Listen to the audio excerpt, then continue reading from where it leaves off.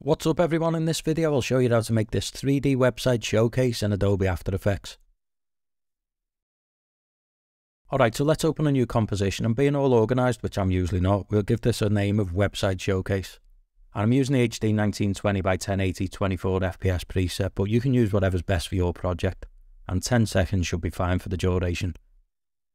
Okay, first we'll add a background which will be a four colour gradient, so we'll go to Layer, New and Solid. Let's call this background. And it doesn't matter what colour we give this because we're going to come over to effects and presets and search for four colour gradient. And let's grab this and drag it onto the background layer. Okay, I'm going to use a mixture of the eyedropper and the colour board to make a bluey, purpley sort of gradient. Again, you can use whatever colours that work best for the project that you're working on, and you can spend a bit of time getting it to look spot on, but for the sake of the length of this video, I'm just going to quickly work through this. You can also grab these gradient points and drag them around to get super precise with your gradient. Okay, with the background layer done, we'll move on to the website animation. So we'll open a new composition with Command N or Control N on a PC. And I'm going to call this one website, nice and original. And I'm using the same preset as before. Then we grab our screenshot and drag it into the composition. And if like mine your screenshot's way too big, we'll select the screen grab in the timeline and press S on the keyboard to open the scale settings and we'll bring it down to fit the width of the composition and we'll align it to the top. If you're not seeing these align options, by the way, you'll find it under Window and Align. Okay, now on to animating the screenshot to scroll through the composition. So we're going to be using keyframes and a bit of keyframe easing to do this. So I'm going to move the player along by 10 frames by holding shift and pressing the page down key. Then with the screen grab layer selected, we'll press P to open the position properties.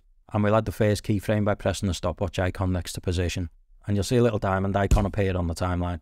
Then we'll move the player forward 20 frames, so hold shift and press the page down key twice. And it's the screenshot's y-axis, which is this second number that we want to add the keyframes to. So we drag the y-axis number until we reach the first point, and that'll automatically make another keyframe on the timeline. Then we want the position to hold for a few frames, so we'll jump forward 10 frames and add a new keyframe by clicking the add keyframe icon. That'll keep the position the same and give us a pause in the scrolling. Then we'll jump forward another 20 frames and again drag the y-axis to the next position. And move forward 10 frames and add another hold keyframe. And we'll do this until we get to the bottom of the screenshot or the point where you want to start scrolling back to the top. Okay, now we're at the end, we want to scroll back to the top. So after this last hold keyframe, I'm going to jump forward another 20 frames. And instead of dragging the y-axis value again, we'll come over to align and align top and that'll put our last keyframe onto the timeline. Then I want to trim the end of the animation so it returns to the start quicker and doesn't play all of this extra stuff at the end where there's nothing going on. So I'm going to jump forward another 10 frames and then grab the work area end handle and drag it to the playhead. So if we play it back now, it should scroll through the page, albeit a bit linear looking and shit. So to make it look like a more natural scroll, so starting off quick and then gradually coming to a stop, we need to add some ease into the keyframes at the end of each scroll, so every other keyframe so we'll select each of these keyframes by holding shift and clicking on each one. Then we'll right click on any of the selected keyframes and go to keyframe velocity. And it's the keyframe's incoming velocity that we want to affect, so we'll drag the influence up to 100%. Now when we play it back, you'll see it's more of a natural looking scroll. And completely optional this one, but you can turn on motion blur for the layer by turning on motion blur and then enabling it for the layer and that'll give it blur when it scrolls. I personally think it's a bit too much, so I'm going to turn this off, but it's entirely up to you whether you leave it on. Okay, I'm done with this part now, so we'll go back to our website showcase composition. Let's go back to the project window. And we'll grab the website composition and drag it onto the timeline, making sure it's above the background layer. Then we'll hit S to bring up the scale properties. And let's scale this down to about 60 odd percent. And then I'm going to turn this into a 3D layer, which gives us the option to manipulate the layer in three dimensions. So we can change the X and Y rotation and the orientation. You can also use the handles in the composition to change these too. So I've messed around with these settings until you're happy with the angle and rotation of your website animation.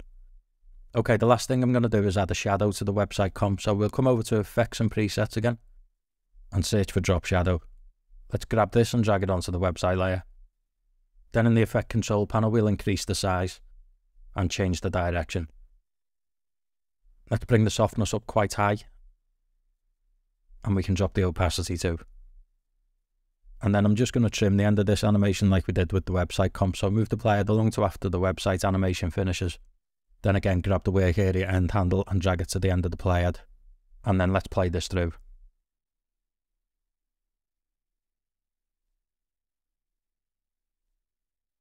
So if you want to make the gradient colour in the background animated like this, then check out this video next. Back the like button if you found this video useful, and hopefully I'll see you in the next one. See ya.